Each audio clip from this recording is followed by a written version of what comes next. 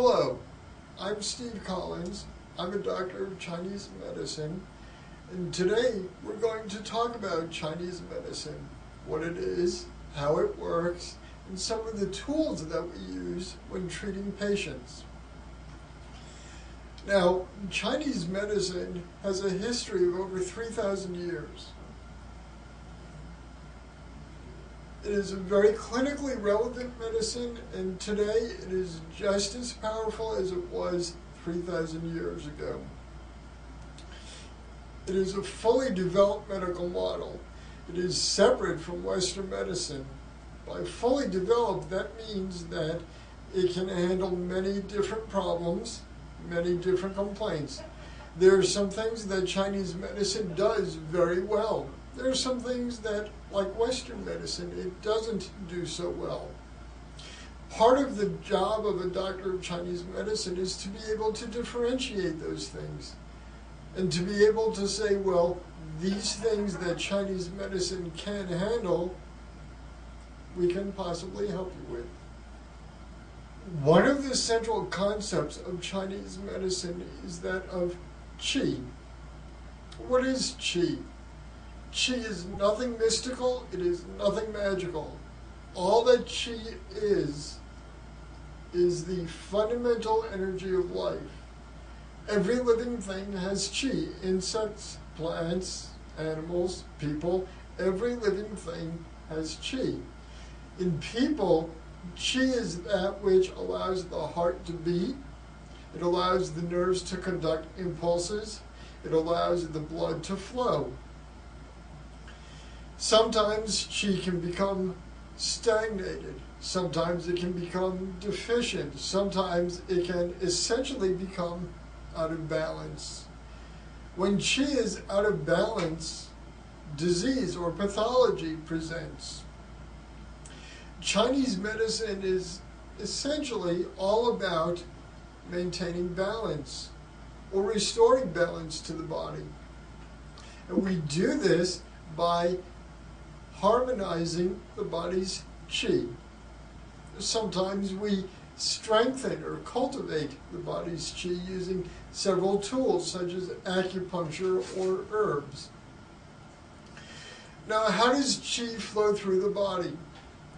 Qi flows through the body through a series of channels or meridians, some of which you can see on this diagram.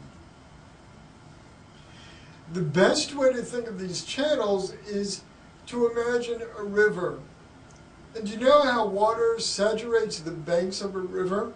Well, that's how qi saturates the tissues. It flows through the channels.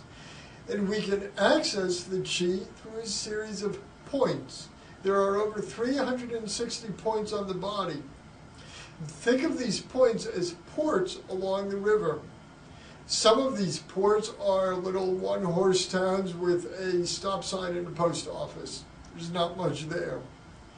Some of these points are major points that have influence on many different parts of the body and communicate with other parts of the body. So there are essentially two difficult parts of Chinese medicine. The first is figuring out what's going on with the patient and the second is determining which points to use to treat a given problem. Once we determine what's going on with the patient, then we can use a number of tools to treat that patient.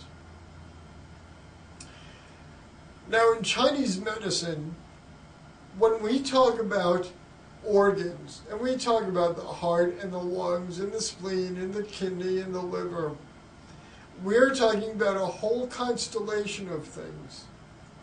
For example, the heart. When I talk about the heart in Western medicine, I'm talking about the myocardium and only the myocardium and the electrical system that runs the, the heartbeat. But in Chinese medicine, when I talk about the heart, I'm not talking solely about this. I'm talking about a whole constellation of things, including the small intestine, summertime, the color red, the tongue, the emotion of joy, hot foods. So I'm talking about a whole constellation when I talk about the heart. And one of the wonderful things about the the medicine itself is that it does not separate mind from body. And it looks at the body as a whole. So when I talk about the heart, I'm also talking about its relation to the kidneys. I'm talking about its relation to consciousness or awareness. I'm talking about its relationship with dreams. I'm talking about many, many things. And so when a patient comes to us with complaints, after a thorough examination and looking at the tongue and feeling the pulse in each wrist, both of which are extremely important diagnostic tools in Chinese medicine, we can arrive at what we call a pattern, which is the same thing as a diagnosis, or equivalent to a diagnosis. At that point, then we can determine which points to use to treat the patient and then which tools we're going to use, whether we're going to use acupuncture, cupping, gua sha, ah, tuina, ah, dietary therapy, herbal therapy, plum blossom, or whatever technique we choose. So in the next few minutes, I'm going to demonstrate some of these techniques. It's important that you understand that if you choose to go to a doctor of Chinese medicine, that you find a practitioner that has gone through at least three to four years of education in Chinese medicine. I myself have had four years of school in Chinese medicine.